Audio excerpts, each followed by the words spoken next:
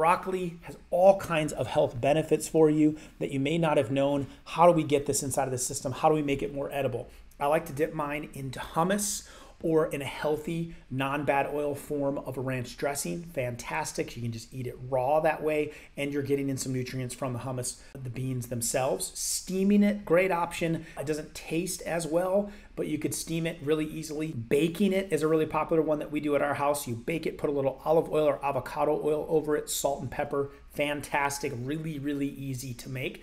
I would definitely try that one. On your next, what do I have for a side dish with my main dish outing? Apple cider vinegar, simple broccoli salad. So take your broccoli salad recipe, substitute in healthy mayonnaise and apple cider vinegar for the vinegar, and then use the broccoli. You could add in some raisins, watch the sugar there. You could add in some nuts like sunflower seeds into it as well.